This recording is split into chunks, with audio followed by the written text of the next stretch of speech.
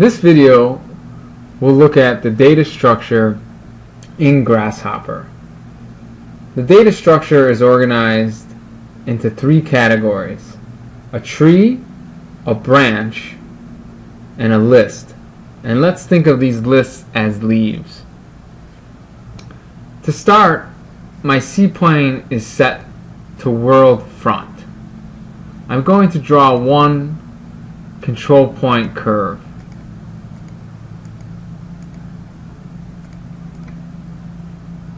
And I'm going to copy three more of these curves. And to do that, I'm going to set my C-plane back to world top. I'll type in copy and I'll select this curve and I'll make three copies of it. Okay, I'm going to select these four curves and press the F10 key to turn on my control points. And I'm just going to make each curve a little bit different.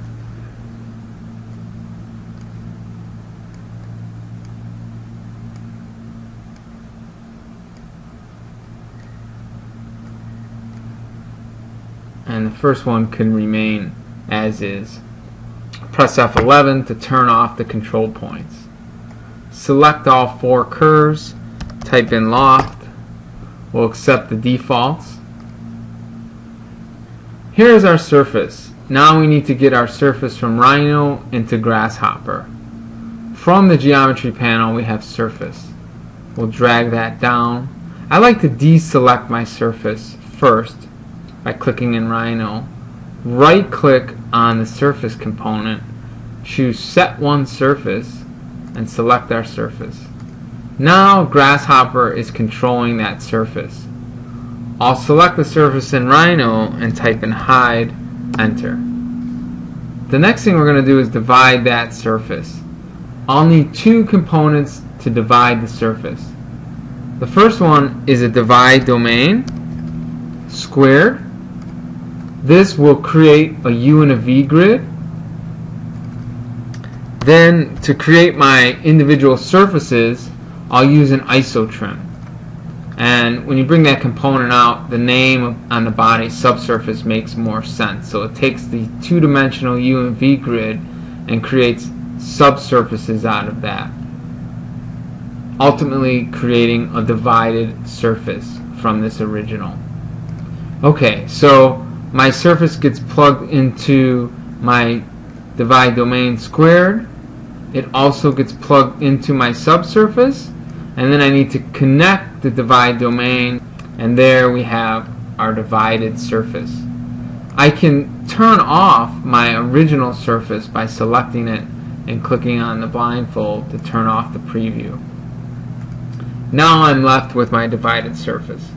I'm gonna make this geometry less complex by lowering the number of U and V grid lines which by default are set to 10. I need a number slider.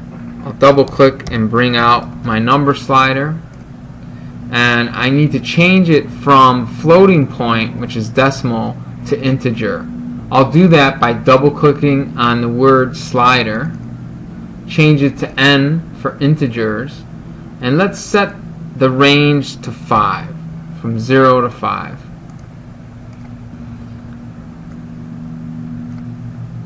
I'll need one for the U and one for the V, so I'm going to Control C copy and paste. Let's move this a little bit further along so that we have some room to plug in our U and V sliders.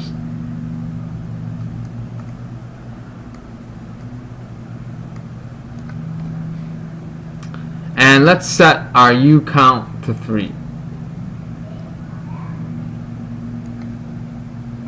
And just to not confuse the curves of our grasshopper surface with the original curves from Rhino, I'm going to select everything in Rhino and just type in hide. It's a little easier to see now. Okay, so the purpose of this tutorial is to look at the data structure in Grasshopper. So to create our data tree, I'm going to explode this subsurface. So I'm going to double click and type in explode and I'm going to use what's called a brep components.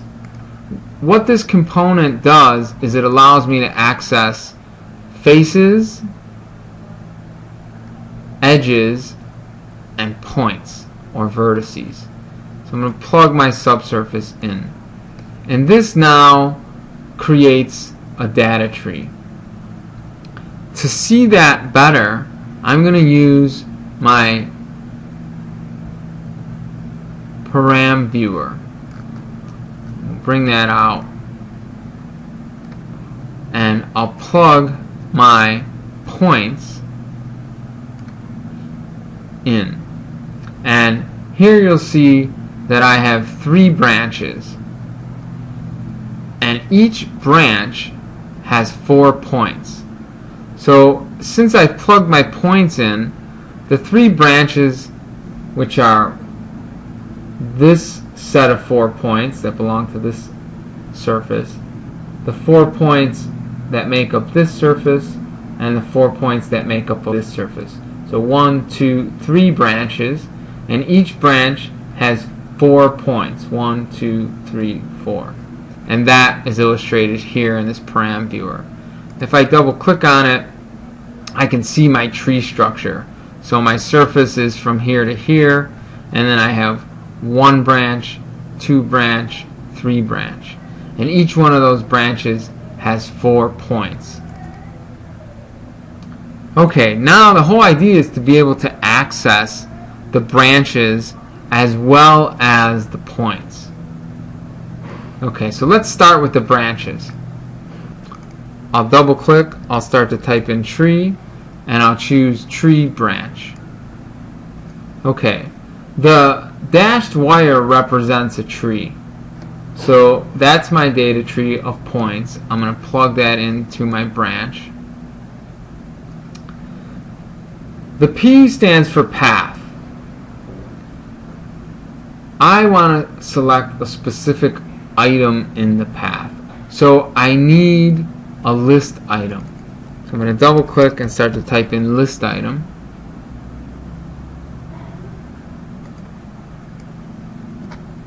Okay, that gets plugged in to my path. So I'm missing a number slider. I'm going to go to the beginning of my definition and copy and paste.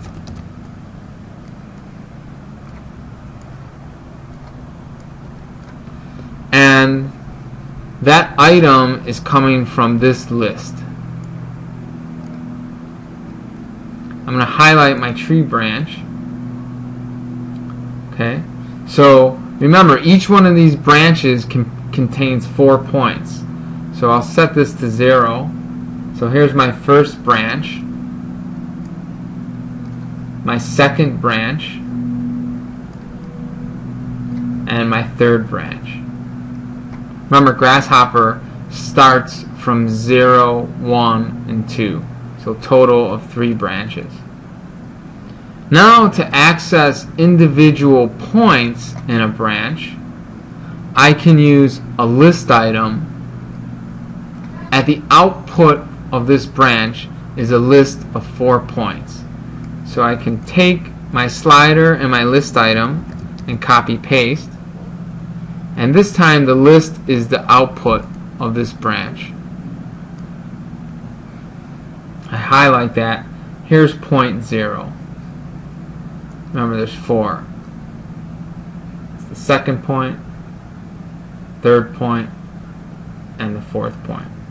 So now I have access to each one of those points.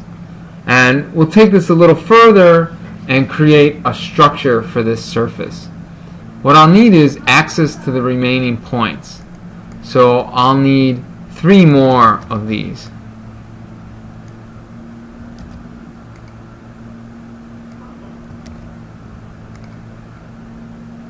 and I'll number them sequentially so that'll be 1 2 and 3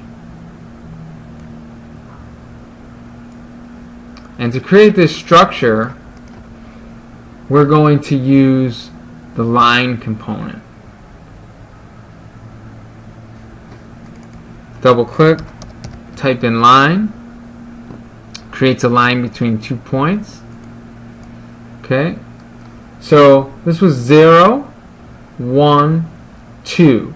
So I'm going to draw a diagonal line from 0 to 2.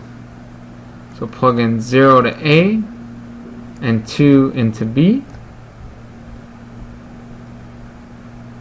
And obviously that's not following the surface, but we'll get to that. We're going to subdivide that surface into more surfaces.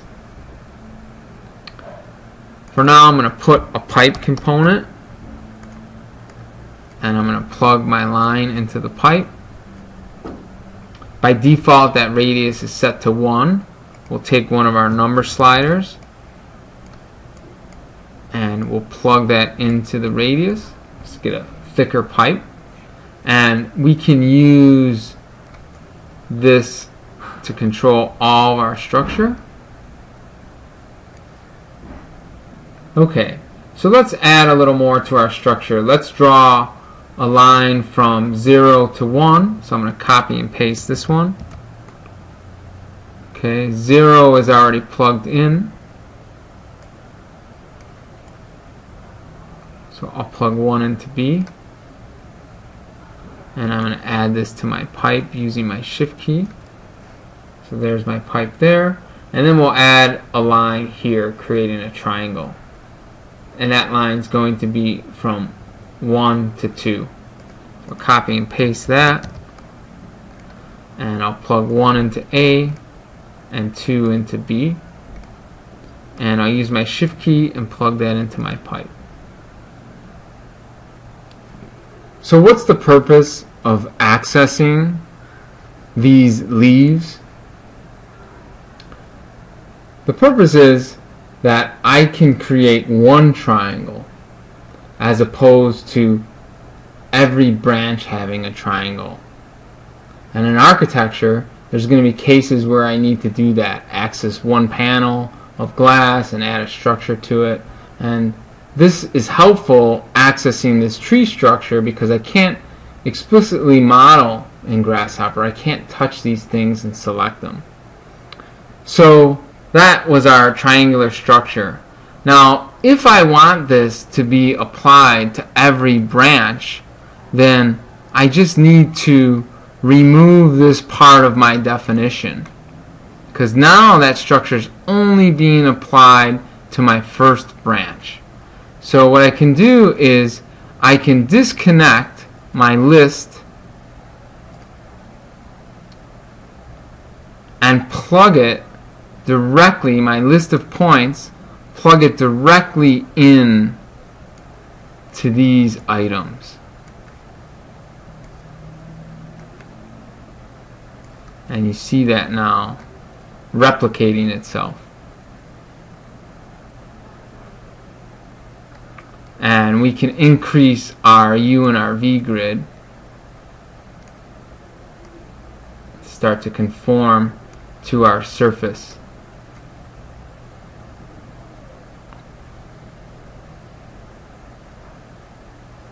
So there's our structure.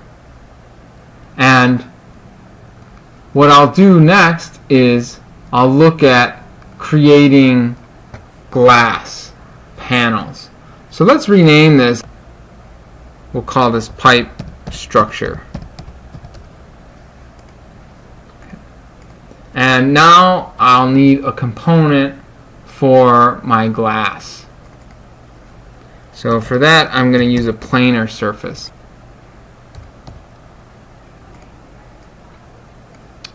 Okay, and to create that planar surface, I'm going to use these lines.